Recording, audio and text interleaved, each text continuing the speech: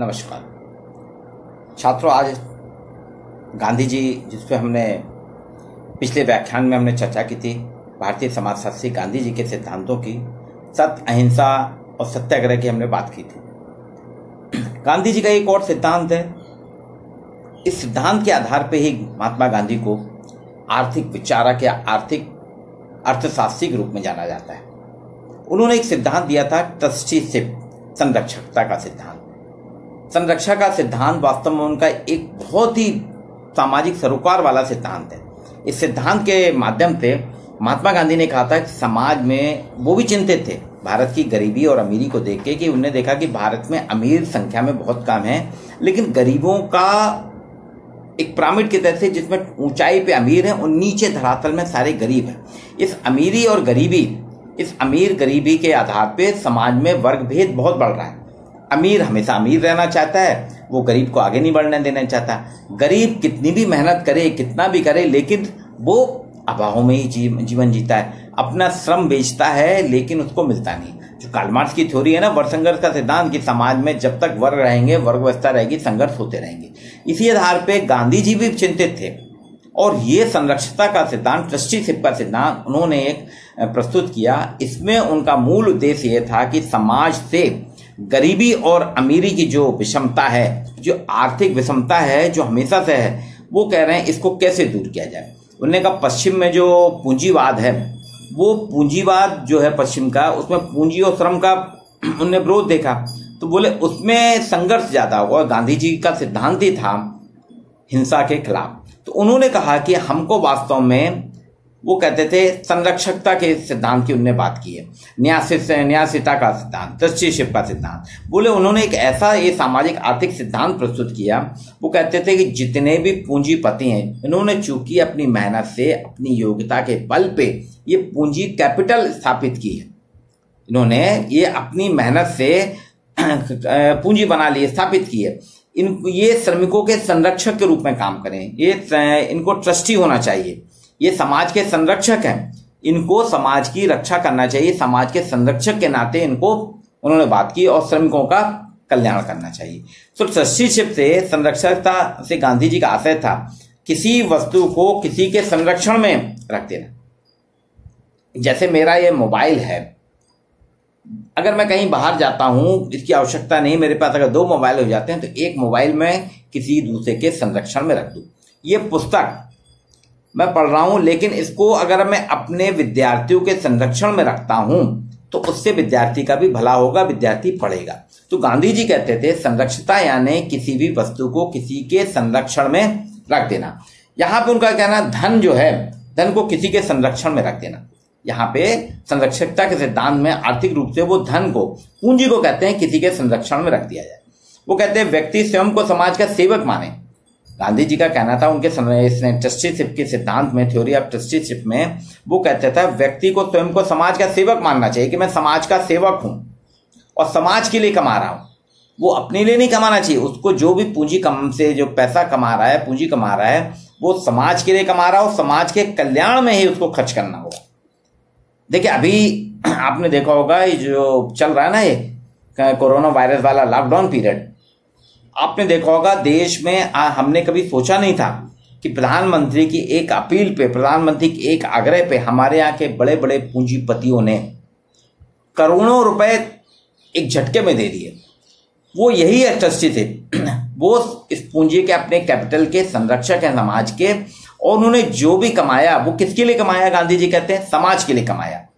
अपने लिए मैं कमा रहा हूँ, अपने लिए जीवन यापन के लिए जितनी आवश्यकता मेरी है, उतने लिए उपयोग कर लूँ, उपभोग कर लूँ, उसके बाद जो बचता है, वो समाज के कल्याण में दो। तो वो कहते हैं उद्योगपति, बोले, गांधी जी ने समाज को कहा है धन जो है, पूंजी जो है, ये हमारी आपकी नहीं है, ये समाज की धरोहर है। समाज की धरोहर है। उद्योगपति और पूंजीपति द्वारा एकत्र जो भी पूंजीपति या उद्योगपति जो पैसा इकट्ठा करते हैं, बोले, व्यक्तिगत धन नहीं है बोले, ये तो सोशल वेल्थ है, सामाजिक धन है व्यक्तिगत नहीं है, सामाजिक धन है। इसलिए सामाजिक धन पे वो कहते हैं, संपूर्ण समाज का स्वामित्व है, किसी एक का नहीं है। उस पर संपूर्ण समाज का, इस मोबाइल पे तो मेरा स्वामित्व हो सकता है, लेकिन इस मोबाइल को बेच के जो मैं पैसा कर रहा हूँ, उस पर मेरा स्वामित्व नहीं, वो पूरे समाज का स्वामित्व है।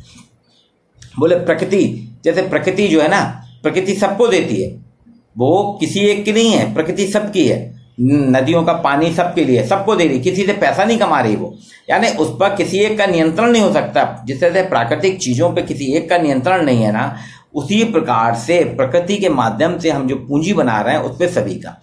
बोले, संयुक्त परिवार का उन्होंने उदाहरण दिया कि हमारे भारतीय समाज में जो संयुक्त परिवार है, इसमें सब लोग कमाते हैं और एक ज्वाइंट पूंजी हो जाती है, सब इकट्ठा हो जाती है। इसमें कुछ व्यक्ति एकाध व्यक्ति ऐसा भी होता है जो कमाता नहीं लेकिन परिवार का सदस्य है ना तो उसका पूरा संरक्षण, उसका संरक्षण, उसका परिवार हो जाता है। भोजन, पानी, रहन सहन, उसको सारी की सारी सुरक्षा मिलती है तो बोले, इसी प्रकार से पूरा समाज जो है, ये पूंजीपति हैं, कुछ पूंजीपति उद्योगपति हैं, ये श्रमिक और पूंजीपति इनको मिलकर रहना चाहिए। और इसके आधार पर उनकी इनकी ज़िम्मेदारी है कि वो इनको संरक्षक बने रहे।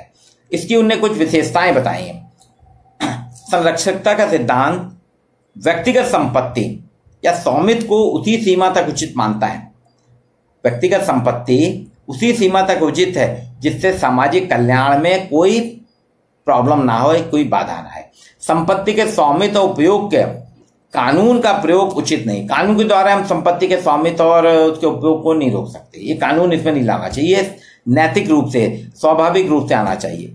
संरक्षकता के अनुसार समाज का कोई भी व्यक्ति अपने व्यक्तिगत हितों के लिए, अपनी संपत्ति का उपयोग करने के लिए पूरी तरह से स्वतंत्र हो। वो फ्री है, क्योंकि उससे कोई सार्वजनिक हित बाधक ना हो। मतलब उतना करे जिससे कोई सार्वजनिक हित बाधक ना हो तो वो स्वतंत्र उपयोग करने के लिए स्वतंत्र फ्री है। संरक्षकता जो है, वर्तमान पूंजीवादी व्यवस्था को समतावादी व्यवस्था बताता है, जो समाज के धनाढ़ों को सुराती है। ट्रस्टीशिप क्या है? एक समाजवादी व्यवस्था है, जिससे समाज के जो पूंजीपति हैं, नव धनाढ़ हैं, धनाढ़ लोग जो हैं, उनको सुधरने का मौका देती है। संरक्षकता का सिद्धांत जो है, उत्पादन की प्रकृति व्यक्तिगत इच्छा से नहीं, बल्कि सामाजिक आवश्यकताओं से निर्धारित होना चाहिए। हम जो समाज में उत्पादन करते हैं, वो हम ये नहीं करेंगे मैं अपने लिए उत्पादन कर रहा हूँ। हमारा ध्येय, हमारा लक्ष्य होना चाहिए समाज के लिए, सामाजिकता के आधार पर समाज में प्रत्येक व्यक्ति के आय की भी एक अधिकतम सीमा निर्धारित हो। आज हम क्या कर, देख रहे हैं हमारे यहाँ आय की अधिकतम सीमा नहीं है। कुछ लोग करोड़ों कमा रहे हैं। अक्सर आता ना पेपर में कि उसके इतने करोड़ का पैकेज मिला। उसकी सालाना आमदनी इतनी है। बोले, ये नहीं होना चाहिए। ज़रूरत जो है, ज़रूरत के मतलब एक लिमिट बांधना चाहिए कि व्यक्तिगत आय इससे अधिक नहीं होगी। इसको उन्हें व्यवहारिक रूप से बताया। इसको स्पष्ट किया कि कोई काल्पनिक अवधारणा नहीं है। मैम बोले, ये मेरा अवधारणा, ये जो संरक्षकता का सिद्धांत है, कोई काल्पनिक अवधारणा नहीं है। ये अवधारणा काल्पनिक लगती है, लेकिन ऐसा नहीं कि अव्यवहारिक है। ये अव्यवहारिक नहीं है। इसको व्यवहारिक बनाना चाहिए, इसको व्यवहारिक बना सकते हैं हम। इसमें क्योंकि प्रत्येक व्यक्ति को स्वयं अपनी संपत्ति के जो स्वामी हैं जो प्रत्येक व्यक्ति अपनी संपत्ति का स्वामी या मालिक है, उसको अपने हृदय को परिवर्तित करना। उसको मानसिकता बदलनी होगी कि अपनी संपत्ति के बड़े हिस्से का उपयोग जो है, समाज हित में करे। वो कहते हैं, अपनी संपत्ति के बड़े हिस्से का उपयोग समाज हित में करे।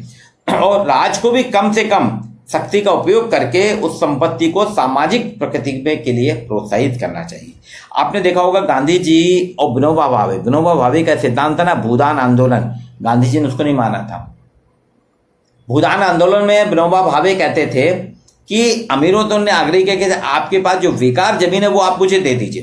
दान दे दीजिए, मैं करूँगा। गांधी जी कहते थे, स्वेच्छा से और बेकार क्यों? आपकी जो संपत्ति है, वो श्रमिकों के श्रम से बनी है, इसलिए आपको उसके एक साथ करना चाहिए। वो कहते पूंजी में कोई बुराई नहीं है। बोले, इसका दुरुपयोग बुराई है। गांधी जी का कहना था, पूंजी जो है, उसमें कोई बुराई नहीं है, लेकिन इसका दुरुपयोग जो जब हम करते हैं, वो बुराई हो जाती है। वो कहते हैं कि जो मालिक हैं, जो पूंजीपति हैं, वो अपना ये सिद्धांत उनने रखा कि लोग उस सरकार को दें, दान करें। उस दान करने से क्या होगा? सरकार को दे दिया जाए तो सरकार अब लोक हित में उससे सड़कें बनाएगी, है ना? नए नए व्यवसाय स्थापित करके उसमें जनता को रोज़गार देगी। राजकीय काय जैसे सड़क है, कुआँ है, हॉस्पिटल है, तालाब है, ये संपन्न किए जा सकते हैं। आर्थिक समानता की नींव में संरक्षकता का जो सिद्धांत है, वो वास्तव में यही है। वो कहते हैं कि गांधी जी की मान्यता थी व्यक्ति को ये मानना चाहिए, व्यक्ति को ये स्वीकार करना चाहिए कि मेरे पास जो संपत्ति है, मेरे पास जो पूंजी है, वे, वह संपत्ति, वह पूंजी मेरी नहीं है, बल्कि समाज की है, पूरे सोसाइटी की है। बोले, हमको धन संग्रह उतना ही करना चाहिए जिससे हमारी दैनिक आवश्यकताएँ पूरी हो जाए। दैनिक आवश्यकताओं की पूर्ति के लिए ही हमको उतना ध्यान रखना चाहिए। गांधी जी ने ईशोपनिष, ईशोपनिषद की व्याख्या की है। वो उसे लिखते हैं, स्वेच्छा से अपने साधनों का त्याग करने से व्यक्ति को अपार सुख मिलता है। ईशोपनिषद कहता है कि हम स्वेच्छा से जब अपनी, अपने साधनों का त्याग करते हैं, उससे ही हमको अपार सुख मिलता है। तो यहाँ पे उन्होंने कहा था कि वास्तव में व्यक्ति को समाज में ही संपत्ति। और आज हम देख रहे हैं, गांधी के सिद्धांत इस लॉकडाउन पीरियड में आए हैं। कि हमारे यहाँ के टाटा, अंबानी, अडानी बाबा रामदेव, अक्षय कुमार, ये सारे के सारे करोड़पति जो हैं, पूंजीपति हैं, जो उद्योगपति हैं, इन्होंने एक प्रधानमंत्री के एक आह्वान पे और संकट की घड़ी में देखते हुए उन्होंने अपनी संपत्ति टाटा ने तो डेढ़ सौ करोड़ दान कर दिए। अब आप सोचिए, इतनी करोड़ों दान करना, कि आज किसी से आप पाँच पैसा मांगे तो उसको देने में तकलीफ़ होती है। लेकिन चूँकि संकट का काल है, हॉस्पिटल बनाना है, अंबानी ने अपना पूरा एक हॉस्पिटल दान कर दिया। ये कहलाता है संरक्षता। मतलब आप समाज के संरक्षक हैं, आप समाज के ट्रस्टी हैं, और इसी के आधार पे आपको बांटना चाहिए। यानी धनिकों द्वारा संपत्ति, धन बांटने का अर्थ यह नहीं है कि गरीब को धन दे दें, संपत्ति दे दें।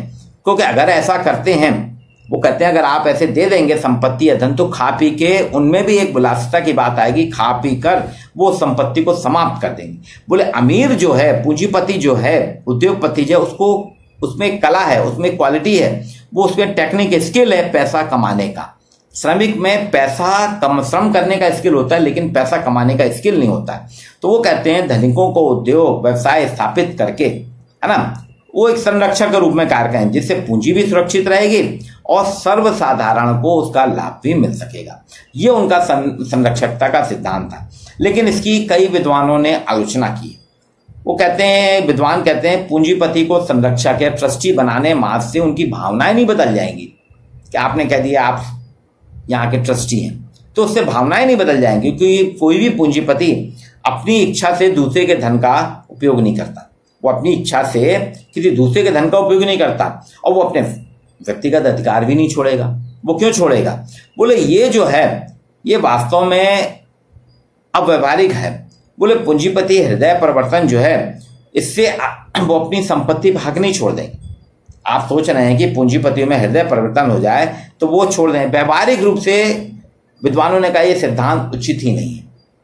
लेकिन आज गांधी ने जो बात की थी गांधी के संरक्षकता ट्रस्टीशिप के सिद्धांत की बात की थी। लॉकडाउन पीरियड में तो वो कुछ हद तक सही दिख रही है। कि उद्योगपतियों ने अपने पूंजी को अपनी दैनिक आवश्यकताओं के अनुरूप रख के बाकी को छोड़ दिया। तो आज जो गांधी जी का सिद्धांत है, सांप्रदाय संरक्षकता का सिद्धांत सत्य अहिंसा का सिद्धांत, ये वास्तव में एक सामाजिक परिपेक्ष में सिद्धांत है। इसलिए उन्होंने कहा कि वो धर्म की बात करते हैं। बोले, नैतिक धर्म उन सभी सिद्धांतों के आधार पर बोले कि नैतिकता होना चाहिए धर्म में।